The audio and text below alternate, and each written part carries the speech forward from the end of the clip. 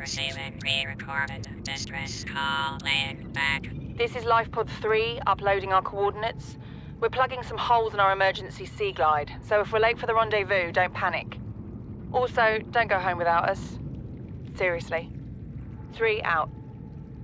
Signal location uploaded to PDA.